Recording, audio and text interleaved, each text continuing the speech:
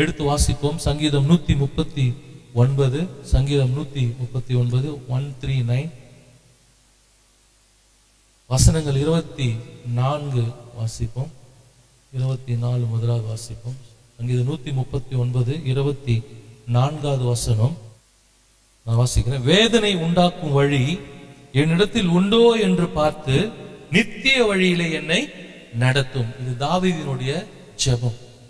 தாவீது பாடின சங்கீதம். அவர் தேவனிடத்துல தாவிது ஜெபிக்கிறார் எப்படி சொல்றாருன்னு சொன்னா வேதனை உண்டாக்கும் வழி என்னிடத்தில் உண்டோ என்று பார்த்து நித்திய வழியிலே என்னை நடத்தும். எத்தனை பேர் இது மாதிரி ஜெபம் பண்றீங்க? நம்மளுடைய பிரேயர்லாம் எப்படி இருக்குது? ஆண்டவரே எனக்கு இது வேணும் ஆண்டவரே அது வேணும் ஆண்டவரே என்னை இப்படி பண்ணிட்டாங்க ஆண்டவரே என்னை தேற்றுங்க ஆண்டவரே ஆற்றுங்க ஆண்டவரே எனக்கு சுகத்தை கொடுங்க ஆண்டவரே. இந்த ஜெபம் தான் நம்மளுக்கு மேக்சிமம் அதான் பண்றோம். ஆனா இது எவ்வளவு நல்லா பாருங்க அப்ப அவர் வந்து என்னென்ன யோசித்து பாக்குறாரு என்ன நம்ம பண்றோம்? என்ன காரியம் செய்யறோம்? நம்ம வந்து நிறைய காரியங்களை யோசித்து பார்க்காம என்ன பண்றதுன்னா ரொட்டீனா செய்யறதை நம்ம டெய்லி எழுந்தா ஜெபிக்கணும். என்ன ஜெபிக்கணும்? இது கொடுங்க அதை கொடுங்க இவங்களை ஆசீர்வதிங்க என்ன ஆசீர்வதிங்க குடும்பத்தை ஆசீர்வதிங்க வேலையை இது பண்ணுங்க பாதுகாத்து கொள்ளுங்க. இதே தான் நம்ம சில காரியங்களை யோசிக்கணும். ஆண்டோட சமூகத்துல போகும் பொழுது நம்மளை பத்தி நம்மளுக்கு நிறைய காரியங்கள் நம்ம வந்து நெகட்டிவா இருக்கிறத நம்ம என்ன பண்ணுவோம்? கரெக்டுன்னு சிலதெல்லாம் நம்ம நினைச்சிட்டு இருப்போம். ஆனா கர்த்தருடைய சமூகத்துல போய் உட்காரும் பொழுதுதான் சில காரியங்களை கர்த்தர் நம்மளுக்கு உணர்த்துவார். நீ செய்யறது தப்பு அப்படின்னு சொல்லி. சிலது நம்ம வந்து எப்படின்னா சிலது தெரிஞ்சா கூட நம்ம ஒத்துக்க மாட்டோம். பிடிவாதம் நம்ம கிட்ட நம்ம பண்றது வந்து சொல்லுவாங்க சிலரு. இவங்க என்ன சொல்றது அப்படின்னு இருக்கும். ஆனா மனசுக்குள்ள நம்மளுக்கே தெரியும் நம்ம பண்றது தப்புன்னு தெரியும். ஆமா நம்ம கோவப்பட்டு கூடாதுல அப்படின்னு. அதே காரியத்தை அவங்க வந்து சொல்லும்போது அதெல்லாம் எனக்கு தெரியும். நீ என்ன பண்ண? ஓ நான் பண்ணது கரெக்ட் இப்படிப்பட்ட காரியங்கள்லாம் நம்மளுக்குள்ள இருக்கும். ஆனா நம்மளுடைய ஜெபம் எப்படி இருக்கும்னு சொன்னா ஆண்டவரே வேதனை உண்டாக்கும் வழி என்னிடத்தில் உண்டோ என்று பார்த்து அதை என்ன பண்ணுங்க? என்ன பண்ணுங்க? நித்திய வழியில நடத்துங்க அப்படின்னு சொன்ன என்ன அர்த்தம்னா சரி பண்ணுங்க கிளியர் பண்ணுங்க. என்ன? என்ன பண்ணுங்க? கரெக்ட் ஆக்குங்க. அதுதான். அப்போ ஒவ்வொரு நாளும் தேவ சமூகத்துல போகும்போது நம்ம எல்லா ஜப குறிப்பை வைத்தாலும் அதோடு சேர்த்து என்ன பண்ணணும்? ஆண்டவரே உமக்கு பிரியமா நான் நடக்கிறேனா? உண்மை நான் பிரியப்படுத்துகிறேனா? உண்மை நான் கஷ்டப்படுத்துறேனா? வேதனைப்படுத்துறேனா? அதை நம்ம என்ன பண்ணோம் ஆராய்ந்து பார்க்க வேண்டும்.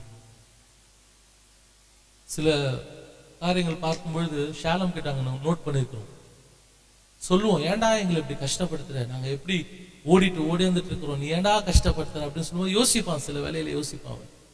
யோசித்து ஆமா டாடி மம்மி நம்ம என்ன பண்ணக்கூடாது? கஷ்டப்படுத்த கூடாது அதை நான் செய்யறேன் ஓகேன்னு சொல்லி உடனே கீழ்படுறோம் அப்ப அவனுக்குள்ளே அந்த யோசிக்கிற தன்மை வருது. அப்ப நம்ம ஆண்டு இடத்துல போய் உட்காரும் பொழுது நம்முடைய தகப்பன் அவர் அவரை நம்ம எந்த விதத்தில் கஷ்டப்படுத்துறோம்? அப்ப என்ன காரியம் எனக்குள்ள உங்களுக்கு பிடிக்காது இருக்குது? உங்களை நான் வேதனைப்படுத்துற காரியம் இருக்குன்னு சொன்னா அதை பார்த்து என்ன பண்ணுங்கப்பா நீங்க சரி செய்யுங்கன்னு சொல்லி நம்ம ஜெபிக்கிற காரியம் நமக்குள்ள காணப்படணும். அதுதான் ஆண்டவர் நம்மளுக்கு என்ன பண்றாரு? மிகவும் என்ன பண்றாரு? அதை எதிர்பார்க்கிறார். ஹalleluya அதனால இந்த நாளிலிருந்து நம்ம ஜெபிக்கும் பொழுது ஒரு வார்த்தை ஆண்டுகிட்ட கேளுங்க அப்பா என்னிடத்துல நீங்க பாக்குற ஒரு காரியம் உங்களை வேதனைப்படுத்துற காரியம் இருக்குன்னு சொன்னா அதை சரி செய்யறதுக்கு எனக்கு கிருபையை நாங்க அதை வெளிப்படுத்துங்க சொல்லி ஜெபிப்போம். லூயா நிறைய பேர் வீட்ல வாட்டர் பியூரிஃபையர் வச்சிருப்பீங்க. நிறைய பேர் இப்ப எல்லாம் வச்சிருக்கிறீங்க. ஏன்னா எல்லா தண்ணியுமே இப்போ அழுக்காக தான் வருது. அதனால வாட்டர் ப்யூ பியூரிஃபையர் வச்சிருப்பீங்க ஃபில்டர் அதில் வச்சிருப்பாங்க. நிறைய கேண்டில் கண்டெல்லாம் வச்சிருக்கிறாங்க. இந்த யூரோகா ஃபோப் அது மாதிரி நிறைய கம்பெனி இருக்கு. அதில் பார்த்தீங்கன்னா செட் பண்ணிட்டு என்ன பண்றது அதை அது அப்படியே விடுறதில்ல. ஆறு மாசத்துக்கு ஒரு தடவை மூணு மாசத்துக்கு ஒரு தடவை என்ன பண்ணுவாங்க? வந்து சர்வீஸ் பண்ணுவாங்க. சர்வீஸ்னா என்ன பண்ணிட்டு போவாங்க? மேலே அப்படி தொடச்சிட்டு போயிடுவாங்களா? என்ன பண்ணுவாங்க? உள்ள ஃபில்டரை என்ன பண்ணுவாங்க? க்ளீன் பண்ணுவாங்க. அந்த ஃபில்டரை க்ளீன் பண்ணாம விட்டீங்கன்னா என்ன ஆகும்? அவ்வளவுதான். அந்த அந்த அவ்வளோ ஆயிரம் கொடுத்து வாங்குற அந்த மிஷினு கெட்டு போயிடும். அப்பப்போ க்ளீன் பண்ணிக்கிட்டே இருந்தா தான் ஃபில்டர் க்ளீன் பண்ணாதான் தண்ணியும் சுத்தமா வரும் மிஷினும் ஒழுங்கா இருக்கும். அப்போ ஒரு மிஷினுக்கே அப்படின்னு சொன்னா நம்மளும் என்ன பண்ணோம் அப்பப்போ? க்ளீன் பண்ணிட்டே இருக்கணும். நம்மளுக்கு ஏதாவது பிளாக் வந்துச்சுன்னா என்ன ஆயிடும்? நம்ம லைஃப் கெட்டு போயிடும். அப்போ அந்த ஒரு மிஷினையே இப்போ கார் சர்வீஸ் கூட்டா கூட பார்த்தீங்கன்னா அதில் ஏர் கிளீனர் அது இது நிறைய கார் எல்லாத்தையும் கிளீன் பண்ணுவாங்க. எதுவும் பிளாக்ஸ் வந்துடக்கூடாதுன்னு சொல்லிட்டு. அப்போ நம்மளுடைய வாழ்க்கையிலையும் ஆண்டோட சமூகத்தில் போய் உட்கார்ந்து ஆராய்ந்து பார்த்து நம்ம அதை க்ளீன் பண்ணலன்னு சொன்னா பிரச்சனைகள் நிச்சயமாக வரும். கண்டிப்பா வரும். அப்ப இங்க பார்க்கிறோம். ஆண்டவர்கிட்ட நம்ம கேட்கணும். ஏன்னு சொன்னா இருபத்தி மூணாவது வருஷம் அதே நூத்தி முப்பத்தி ஒன்பது இருபத்தி மூணுல சொல்லப்பட்டிருக்கு. தேவனை என்னை ஆராய்ந்து என் இருதயத்தை அறிந்து கொள்ளும். என்னை சோதித்து என் சிந்தனைகளை அறிந்து கொள்ளும். ஃபுல்லா கம்ப்ளீட்டா என்ன என்ன பண்ணுங்கப்பா? சோதித்து அறிந்து என்னென்ன சைட்ல நான் தப்பு பண்ணிட்டு இருக்கிறேன்? என்னென்ன சைட்ல என்னுடைய பேச்சு என்னுடைய நடக்க என்னுடைய சிந்தனைகள் எல்லாவற்றையும் அறிந்து என்ன பண்ணுங்க? என்ன சரி பண்ணுங்க என்ன க்ளீன் பண்ணுங்க சர்வீஸ் பண்ணுங்க என்ன. லூயா அந்த மிஷின்லாம் ஆறு மாசத்துக்கு ஒரு தடவை இருக்கலாம். ஆனா நம்மள என்ன பண்ணோம்? டெய்லி சர்வீஸ் பண்றதுக்கு அவனுடைய பாதத்துல நம்ம போய் உட்காரணும். கத்த நம்மளை சுத்திகரிக்க அவர் வல்லவரா இருக்கிறார். அது மாத்திரம் இல்ல சங்கீதம் நூத்தி முப்பத்தி ஒன்பதுலயே ஒன்னாவது வசனத்துல சொல்லப்பட்டிருக்கிறது கர்த்தாவே நீர் என்னை ஆராய்ந்து அறிந்திருக்கிறீர்.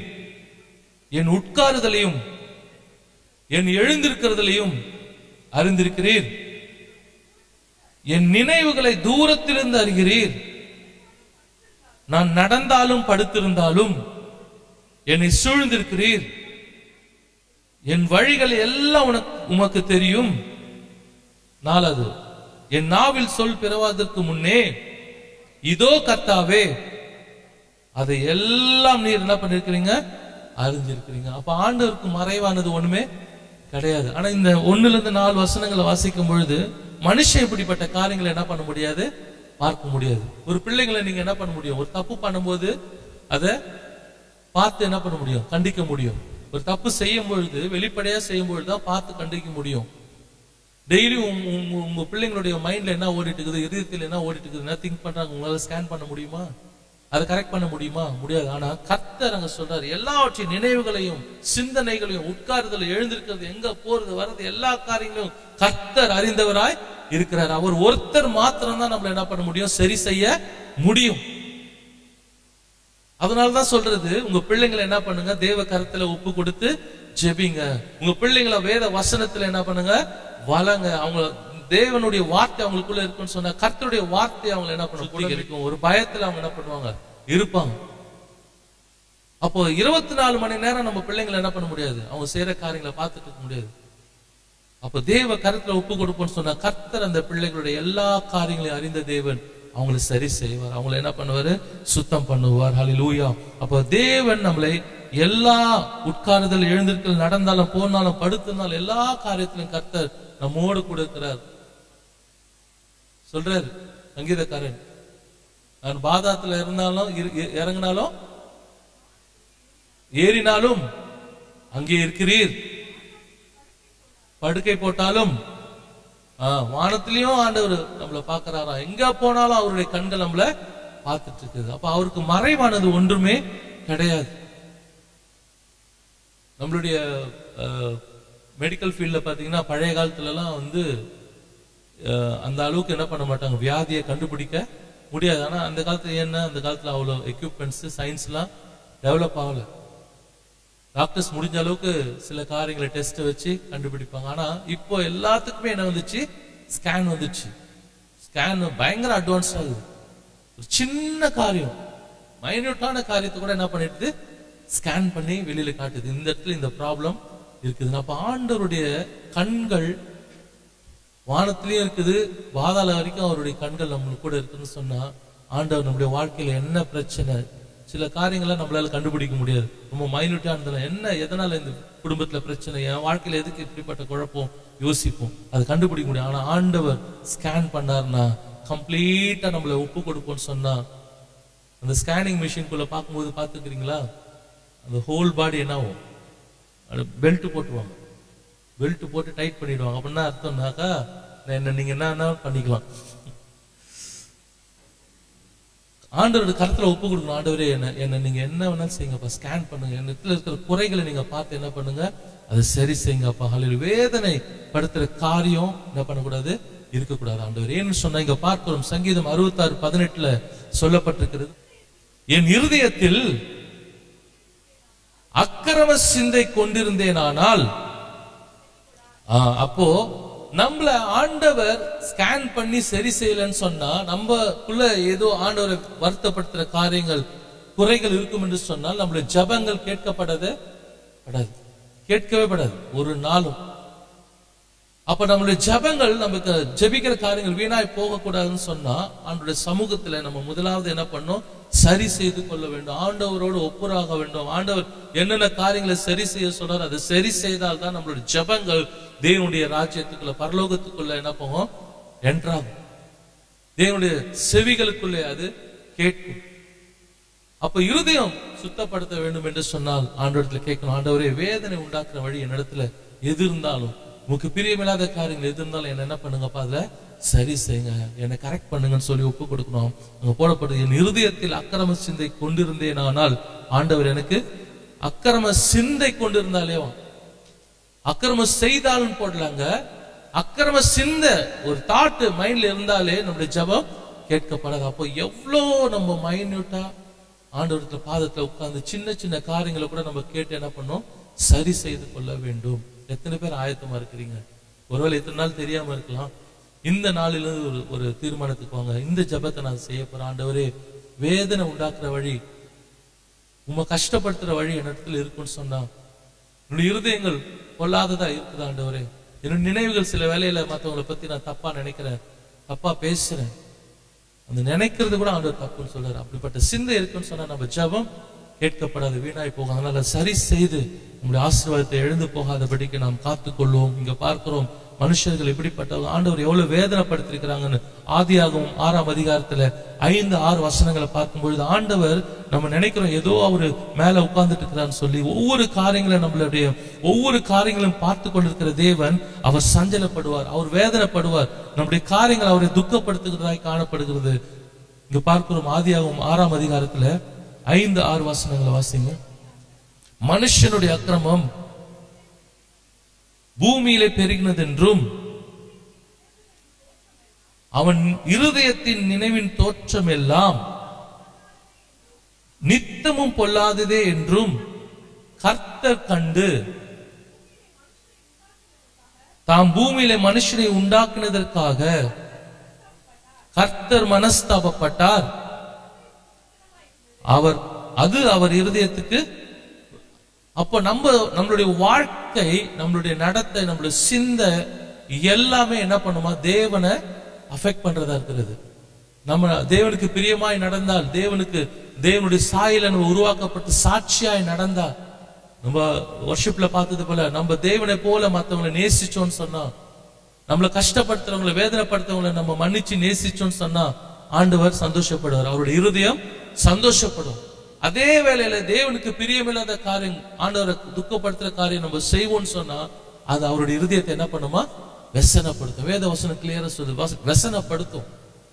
அப்போ இ- இத்தனை வருஷ காலம் இத்தனை நாட்கள் நம்ம எத்தனை தடவை ஆண்டவரை வேதனைப்படுத்தி இருப்போம் யோசித்து பார்ப்போம். எத்தனை சூழ்நிலைகள்ல கர்த்தரை நம்ம துக்கப்படுத்தி இருப்போம் அவன் சொல்றாரு ஆசையா நான் உங்களை உருவாக்குனேன் ஆசையா படைச்சேன். ஏதேன் தோட்டத்துக்குள்ள கொண்டு போய் வைத்து அநேக காரியங்கள் உங்களுக்கு ஆசீர்வாதமான் உங்களுக்காக நான் உருவாக்கினேனே.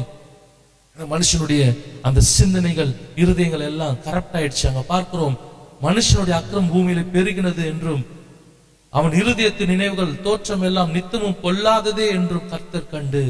அப்போ மனுஷங்களை பார்த்துட்டே இருக்கிறார் இருதயத்தை பார்த்துட்டே இருக்கிறார். ஆறாவது வசனத்துல தாம் பூமியில மனுஷனை உண்டாக்குனதற்காக கர்த்தர் மனஸ்தாபப்பட்டார். உங்களை என்னையும் குறித்து ஆண்டவர் ஒரு நாள் என்ன பண்ணக்கூடாது? மனஸ்தாபப்படக்கூடாது. உங்களை குறித்து என்னை குறித்து ஆண்டவர் சொல்லணும். அலையிலோ என் பிள்ளை. அலையிலூயா என் பிள்ளைய மாதிரி என்ன கிடையாது. யாருமே யோபை குறித்து பிசாசனத்தில் ஆண்டவர் சேலஞ்ச் பண்ணது போல உங்களை எனக்கு குறித்து கர்த்தர் நற்சாட்சி கொடுக்கணும். மனுஷங்களுடைய சாட்சி அல்ல. எவ்வளவுதான் பண்ணாலும் இவங்க நம்மளை பத்தி என்ன பண்ண மாட்டாங்க ஒண்ணு கூட சொல்ல மாட்டாங்களே வீட்டுல எதிர்பார்ப்போம். கண்டிப்பா. இல்ல? வீட்டுல எதிர்பார்ப்பீங்க. மாடா உழைக்கிறேன். ஒரு நாள் கூட என்னை பத்தி சொன்னதே இல்லையே. என்னதான் திட்டிட்டே இருக்கிறாங்க. அப்ப உங்க மேலதான் ரொம்ப அன்பு வச்சுக்கிறாங்கன்னு அர்த்தம். அலை லூயா எவ்வளோலாம் செய்யறேன் எத்தனை பேர் அது மாதிரி தனியா போய் உட்காந்து அழுதுருக்கிறீங்க. இந்த மனுஷனுக்கு மாடா உழைச்சுன்னு டெய்லி வடிச்சு கொட்டினுக்கிறேன் நல்லா வக்கனையா சாப்பிட்டு ஒரு நாள் கூட நல்லா சமைச்சேன்னு சொன்னதே கிடையாது. சாப்பிட்டு ஏப்பம் விட்டு கையை கழுவிட்டு ஏஞ்சி போறாரு. மனுஷனத்தில் எதிர்பார்க்காதீங்க நீங்க. அலையிலூயா கர்த்தர் உங்களை ஆசீர்வதிக்கிறது. உங்களை குறித்து சொல்லுகிற சாட்சி அது மேன்மையானது. அலையிலூயா அதனால உங்களுக்கு இது மாதிரி ஒரு மாதிரி டிஸ்கரேஜிங்கான சூழ்நிலைகள் வந்துச்சுன்னா கூட கவலைப்படாதீங்க.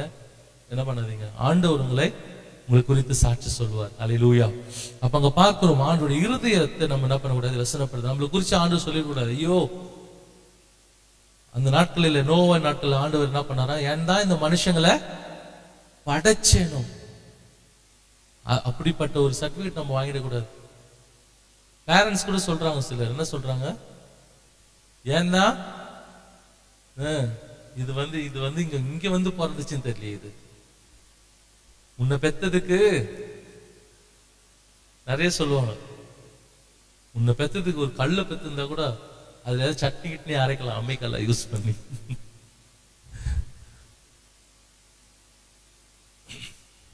ஏன் நம்மளுடைய நம்மளை கஷ்டப்படுத்துறாங்கல்ல?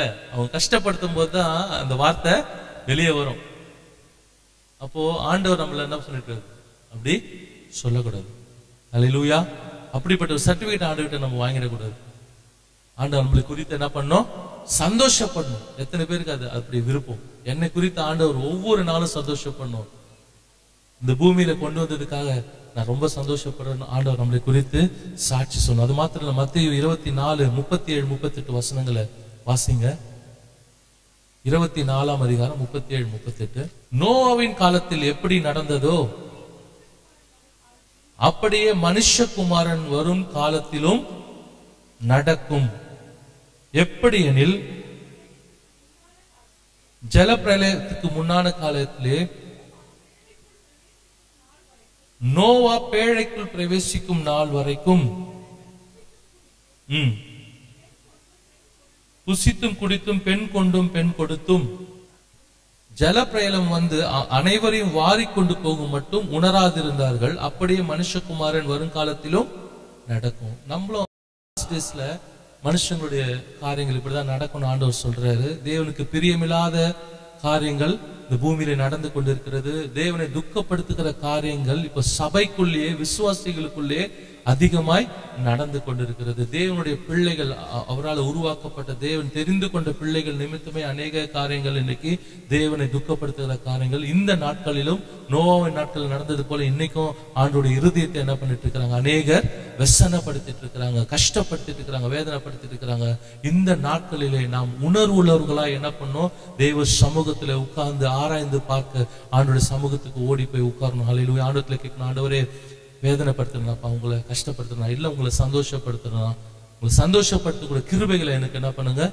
கொடுங்க. கற்றுக் கொடுங்கப்பான்னு சொல்லி நம்ம கேட்டு நம்முடைய காரியங்களை சரி செய்வோம்னு சொன்னா ஆண்டுடைய வருகையில கத்தை நம்மளை சந்தோஷமாய் அழைத்து செல்ல நம்ம மேல் விருப்பப்பட்ட நம்ம மேல் அன்பு கூர்ந்து நம்மளை அணைத்து கொண்டு நம்மளை நம்மளை மீட்டு கொண்டு செல்ல கத்தருடைய வருகை வெறும் சமயமா இருக்கிறது ஹலை லூயா அதை நம்ம ஆயத்தப்படுத்தணும் ப்ரிப்பேர் பண்ணணும். ஹalleluya நம்மளை உருவாக்குகிற தேவ கருத்தை நம்ம ஒப்பு கொடுப்போம்னு சொன்னா கத்தை நம்மளை ஆயத்தப்படுத்த வல்லவராக இருக்கிறார். அதனால பார்க்கிறோம். எபிரேயர் நாலாம் அதிகாரம் பன்னெண்டு பதிமூன்று வசனங்களை வாசிக்கும் பொழுது அங்க பார்க்கிறோம். ஆண்டவர் நம்மள எப்படி ஸ்கேன் பண்றான்னு சொல்லி அங்க பார்க்கிறோம். எபிரேயர் நாலு பன்னெண்டு தேவனுடைய வார்த்தையானது ஜீவனும் வல்லமையும் உள்ளதாயும் இருபுறமும் கருக்குள்ள எந்த பட்டயத்திலும் கருக்கானதாயும் ஆத்துமாவையும் ஆவியையும் கணுக்களையும் ஊனையும் பிரிக்கத்தக்கதாக உருவ குத்துகிறதாயும் இருதயத்தின் நினைவுகளையும் யோசனைகளையும் வகையறுக்கிறதுமாய் இருக்கிறது. அவருடைய பார்வைக்கு மறைவான சிருஷ்டி ஒன்றுமில்லை. சகலமும் அவருடைய கண்களுக்கு முன்பாக நிர்வாணமாயும் வெளியரங்குமாயும் இருக்கிறது. அவருக்கே நாம் கணக்கு ஒப்புவிக்கணும் மனுஷனுக்கல்ல ஆண்டவருக்கே நம்ம ஆராய்ந்து பார்க்கிற ஆண்டவருக்கே நம்ம என்ன பண்ணணும் கணக்கு ஒப்புவிக்கணும். அப்ப மனுஷங்களுக்கு பயப்படுறதை காட்டிலும் பல மடங்கு ஆண்டவருக்கு நம்ம என்ன பண்ண பயந்து ஜீவிக்கணும். நான் ஆண்டவருக்கு தான் நம்ம ரொம்ப லேசா எடுத்துக்கிறோம். ஆண்டோடைய காரியங்களை லேசா எடுத்துட்டு அவர் தானே பார்த்துக்கலாம் அப்படின்னு சொல்லி. அவர் கிருபை உள்ளவர் இறக்கம் உள்ளவர். அவர் அட்ஜஸ்ட் பண்ணலாம்னு நினைக்கிறோம். ஆனா கிருபையின் காலம் முடிகிற நாட்களில் நம்ம வாழ்ந்து கொண்டிருக்கிறோம்.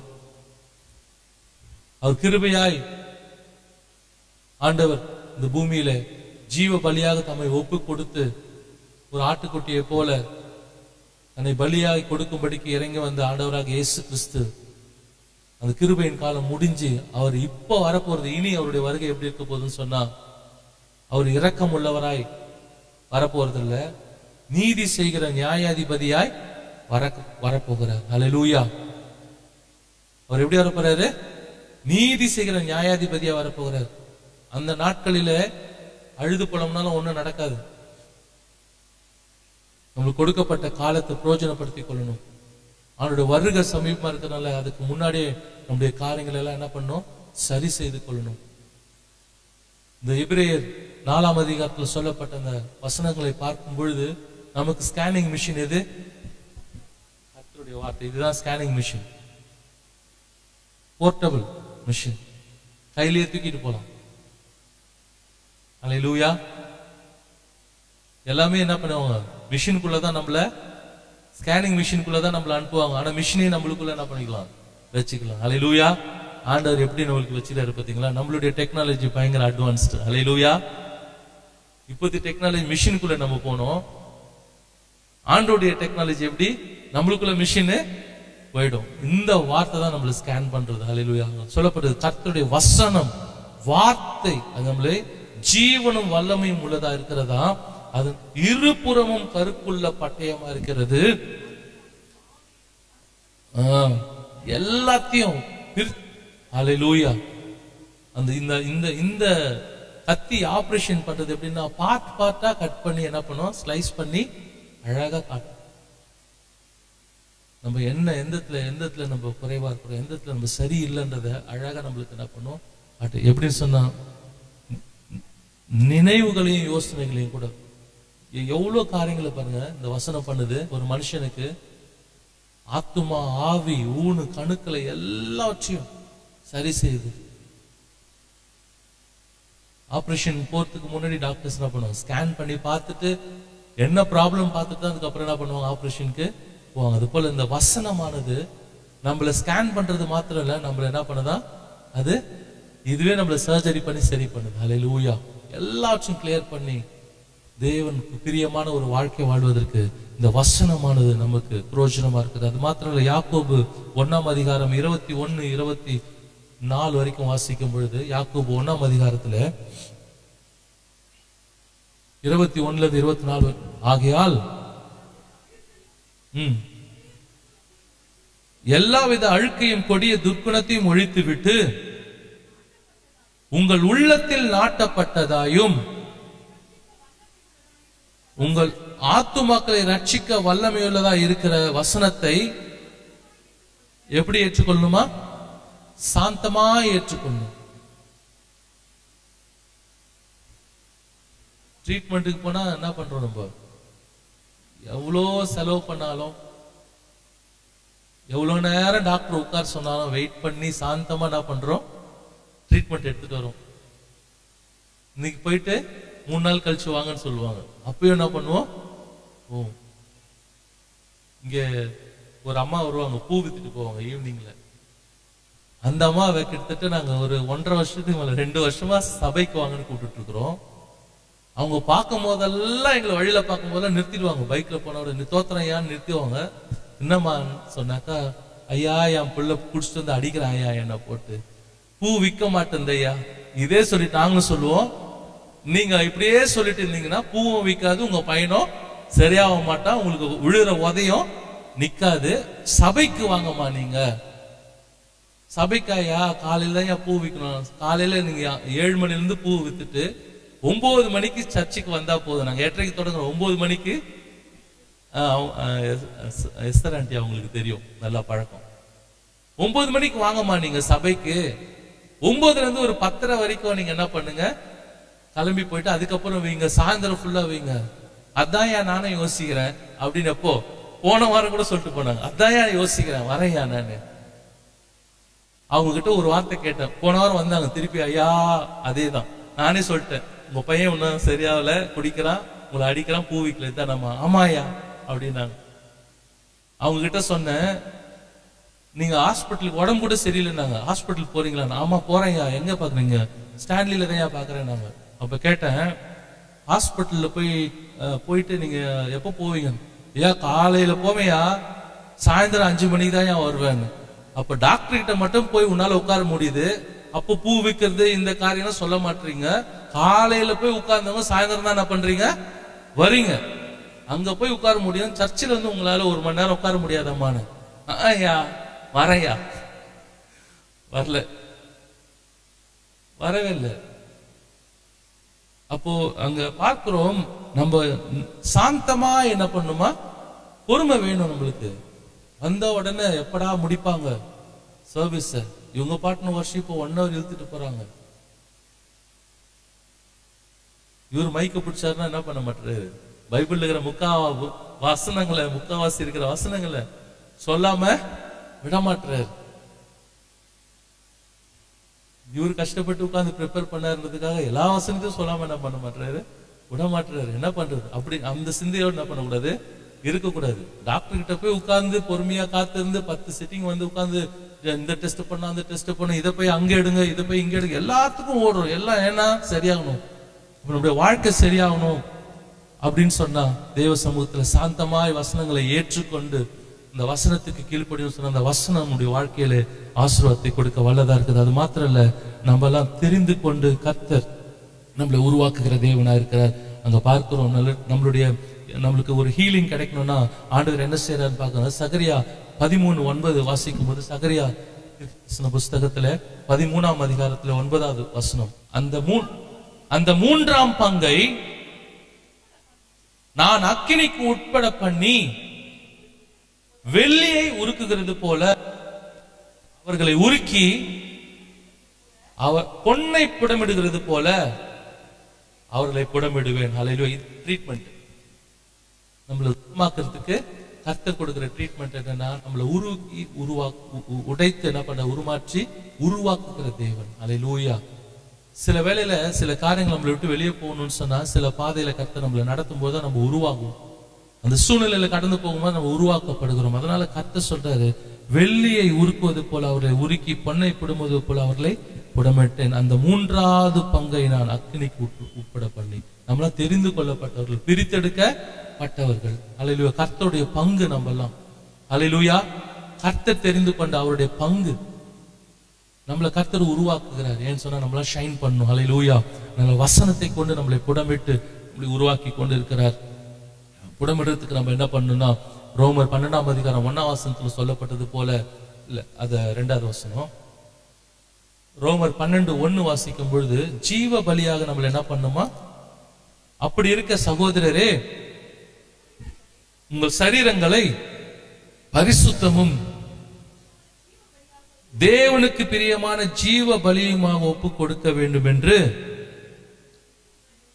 உங்களை வேண்டிக் கொள்கிறேன். ஆராதனையாளர் ஜீவ பலியாக நம்ம ஒப்பு கொடுக்கும் பொழுதுதான் கர்த்தர் நம்மள என்ன பண்ண முடியும்? உருவாக்க முடியும். ஜீவ பலி. நம்மள என்ன பண்ண அப்படியே வந்து லிவிங் சாக்ரிஃபைஸ் அப்படின்னு சொல்லுவாங்க. ஜீவ பலின்னு சொல்லும் போது லிவிங் சாக்ரிஃபைஸ் எப்படின்னா உயிரோடு நம்ம என்ன பண்ணோம் பலி ஆயிடணும் ஏற்கனவே சொல்லி சொல்லியிருக்கணும். நான் இந்த வசனத்தை தியானிக்கும் போது சொல்லியிருக்கிறேன். என்ன சொல்லணும்? உயிரோட நம்மளாம் எப்படி இருக்கிறவங்க? உயிரோட செத்தவங்க. உயிரோட செத்தவங்க.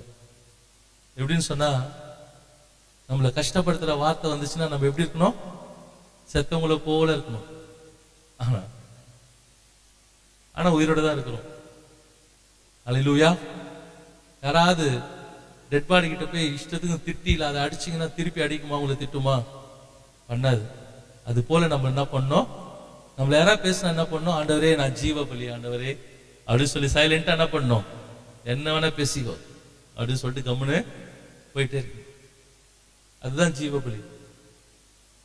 லூயா கிறிஸ்துவுக்காக நம்ம எல்லாவற்றையும் என்ன பண்ணணும்? சகிக்கணும்.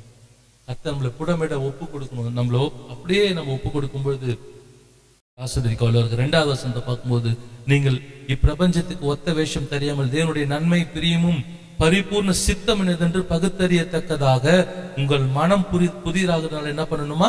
மறுரூபம் ஆகணும். டிரான்ஸ்ஃபர்மேஷன் வரணும். ஆண்டவர் உருவாக்குறது அதே போல நம்மள வைத்துக்க மாட்டார். ஆண்டவர் புதிய சிருஷ்டியாய் கத்த என்ன பண்ணுவாரு? டே பை டே நம்மள என்ன பண்ணுவாரு? நம்மள உருவாக்கி கொண்டே இருப்பார். அதற்கு நம்ம விட்டுக்கணும் புதிய சிருஷ்டியை மறுரூபமாக்கப்படுகிற ஒரு ஒரு ஒரு அனுபவத்துக்குள்ள நம்ம கடந்து செல்லணும். இப்பிரபஞ்சத்துக்கு ஒத்த வேஷம் என்ன பண்ணக்கூடாது நம்ம? தரிக்க கூடாது ஒரு இடத்துக்கு போனா ஒரு மாதிரி இன்னொரு இடத்துக்கு போனா வேற மாதிரி நம்ம என்ன பண்ணக்கூடாது? இருக்கக்கூடாது. ஆபீஸ்ல போனா வேற மாதிரி. நான் வேற மாதிரி ப்ரோ நான் வேற மாதிரி ப்ரோன்னு இருக்கக்கூடாது. எப்பவுமே என்ன பண்ணோம்? கிறிஸ்துவின் சாயல் ஒரே மாதிரி. இயேசு கிறிஸ்து நேற்றும் இன்றும் என்றும் மாறாதவர். அவர் வேற மாதிரி கிடையாது. வேற வேற மாதிரி கிடையாது. ஒரே மாதிரி இருக்கிறார் அலிலூயா எல்லாம் மாறிட்டு வருது. ஆராதனை மாறிடுச்சு. தேவ தேவனுடைய வார்த்தைகள் செய்திகள் மாறிக்கொண்டிருக்கிறது. எல்லாம் ஏன் கேட்டாக்கா ட்ரெண்ட் லேட்டஸ்ட் ட்ரெண்ட் ட்ரெஸ் மாறுற மாதிரி என்னது ஆண்டுடைய காரியங்களும் மாறிக்கொண்டிருக்கிறது. ஆண்டவர் நேற்றும் இன்றும் என்றும் மாறாதவர். அலை லூயா டாக்டர்ஸ் மாறக்கூடாது. டைம்க்கு ஏத்த மாதிரி என்ன பண்ணக்கூடாது? மாறக்கூடாது. அலை லூயா சுவிசேஷம் என்னைக்குமே ஒண்ணுதான். அலை லூயா அது மாறாது. அதனால நம்ம என்ன பண்ணக்கூடாது? பிரபஞ்சத்துக்கு ஒத்த வேஷம் போது இடத்துக்கு ஏத்த மாதிரி நம்மளை அடாப்ட் பண்ணக்கூடாது. மாறிடக்கூடாது. அப்படி மாறுறவங்களை என்ன சொல்லுவாங்க? தமிழ்ல. பச்சோந்தின்னு ஒன்று அது எ- எ- எந்த இடத்துக்கு போது அதோடைய கலர் என்ன பண்ணிக்கும்? மாத்திக்கும். அது எதுக்காக மாத்துது தெரியுமா? அத காப்பாத்தி ஆஹ், காப்பாத்திக்கிறதுக்கு டிஃபெண்ட் பண்றதுக்காக காப்பாற்றி கொள்வதற்காக மாறுது. நம்ம கூட என்ன பண்ணக்கூடாது? ஒரு ஆதாயம் கிடைக்கிறதுன்றதுக்காக கலரு மாறிடக்கூடாது. ஒரு பத்தாயிரம் ரூபாய் கிடைக்குமே பரவாயில்ல. கொஞ்சம் மாறிக்கலாம். நம்ம இந்த வாரம் சர்ச்சைக்கு போகும்போது ஒயிட்டா மாறிடலாம். இப்போ மட்டும் கொஞ்சம் கலர் மாத்திக்கலாம். சபைக்கு வரும்போது மாத்திரம் பரிசுத்தம்ன்ற அந்த ஒயிட் அடையே வந்து அப்படி கிடையாது. எல்லா டைமும் எப்படி எப்படி இருக்கணும்? கிளியரா இருக்கும் அலை லூயா கர்த்தருக்கு முன்னாடி நம்ம எப்பவுமே இருக்கிறோன்றத சங்கீதத்துல பார்த்தது போல அவருடைய கண்கள் நம்மள எங்க இருந்தாலும் பாதாளத்துல படுக்க போட்டாலும் நட்சத்திரத்துல கூட்ட கட்டினாலும் அங்கே இருக்க ஆபீஸ்ல இருந்தாலும் தேவனுடைய கண்கள் உன் மேல இருக்குது. வீட்டுல இருந்தாலும் கண்கள் இருக்குது. காலேஜுக்கு போனாலும் உன் கண் ஆண்டுடைய கண்கள் உன் மேல இருக்குது. மறந்து போக கூடாது லூயா நம்ம அந்த காலத்துல ஜாக்கிரதையா இருக்கணும். அது மாத்திரம் இல்ல. தொடர்ந்து வாசிக்கும் போது கடைசியாக சகரியா பதிமூணு ஒன்பதுல சொல்லப்பட்டிருக்கிறது அதுல ரெண்டாவது பகுதியை வாசிப்போம். நம்ம இப்படிலாம் கீழ்ப்படுத்த நம்முடைய நம்முடைய காரியங்கள் ஆண்டவருக்கு பிரியமா இருக்கும்னு சொன்னா ஆண்டவரை நம்ம சந்தோஷப்படுத்துவோம்னு சொன்னா அவர்கள் என் நாமத்தை தொழுது கொள்வார்கள். நான் அவர்கள் விண்ணப்பத்தை கேட்பேன். இது என் ஜனம் என்று நான் சொல்லுவேன். அலையிலூயா இதுதான் கர்த்தர் கொடுக்கிற சாட்சி நம்மளை குறித்து. அலையிலூயா முதலாவது அங்க பார்த்தோம் நம்ம ஆரம்பிக்கும் போது பார்த்தோம். சங்கீதம் அறுபத்தாறு பதினெட்டுல என் இருதயத்தில் அக்கிரம சிந்தை கொண்டிருந்தேனால் அவர் எனக்கு என்ன பண்ண மாட்டாரு? செவி கொடுக்க மாட்டார். அதெல்லாம் சரி பண்ணி ஆண்டோட பலிபடத்துல ஒப்பு கொடுத்து நம்ம மறுரூபம் ஆக்கப்பட்டு தேவனை பிரியப்படுத்துகிற வாழ்க்கை நமக்கு இருக்கும் என்று சொன்னால் கர்த்தர் சொல்ற நம்மளை குறித்து என்ன சாட்சி கொடுப்பார் சொன்னா அவர்கள் என் நாமத்தை தொழுது கொள்வார்கள். நான் அவர்கள் விண்ணப்பத்தை கேட்பேன். செவியை நான் அடைச்சிக்க மாட்டேன். கேட்பேன். ஏன் சொன்னா என்ன என்ன பிரியப்படுத்துகிற பிள்ளைகளா இருக்கிறாங்க? என்னுடைய வார்த்தைக்கு கீழ்ப்படிந்து நடக்கிற பிள்ளைங்களா இருக்கிறாங்க சொல்லி ஆண்டவர் நம்மளை குறித்து சாட்சி சொல்லுவார். இது என் ஜனம். என்று நான் சொல்லுவேன். கர்த்தர் என் தேவன் என்று அவர்கள் சொல்லுவார்கள். அல்லேலூயா அதனால தேவன் நம்ம ஆண்டோடைய சமூகத்துல போய் உட்காரும் பொழுது ஆண்டவர் எந்தெந்த காரியத்துல எல்லாம் நம்ம இன்னும் சரியாகணும் ஆண்டவரை எப்படிலாம் நம்ம சந்தோஷப்படுத்த முடியும் அவரை நம்ம மகிழ்ச்சியாய் வைக்க முடியும்னு சொல்லி நம்ம ஆராய்ந்து பார்த்து தேவ சமூகத்துல ஒப்பு கொடுப்போம்னு சொன்னா நிச்சயமாகவே கர்த்தர் நம்மளை குறித்து ரொம்ப சந்தோஷப்படுவார் நம்மளை ஆசிர்வதிக்க. அவர் வல்லவராக இருக்கிறார். வர நாட்களிலே நாம் கர்த்தருக்கு பிரியமாய் நடந்து அவருடைய வருகையிலே அவரை சந்தோஷமாய் தைரியத்தோடு எதிர்கொள்கிற அப்படிப்பட்ட ஒரு கிருபை ஆண்டோடத்துல கேட்போம். கர்த்தர் உங்களை ஆசிர்வதிப்பார்.